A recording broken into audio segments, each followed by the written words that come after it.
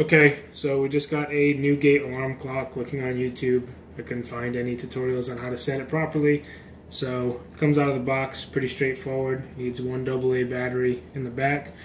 Uh, you have an on-off switch here labeled to the left here is going to be your time for setting the actual time on the clock and your alarm time will be on the right dial here. So manipulating the right, you'll see from the face of the clock, only the hour indicator moves. You set the hour indicator to where you want it to set, doesn't matter whether it's AM or PM of course, and you put the switch to on and it should go off. Uh, obviously you'll have to interpolate uh, for, you want to say 9.30, you put it halfway between the 9 and the 10, and it should work no problem.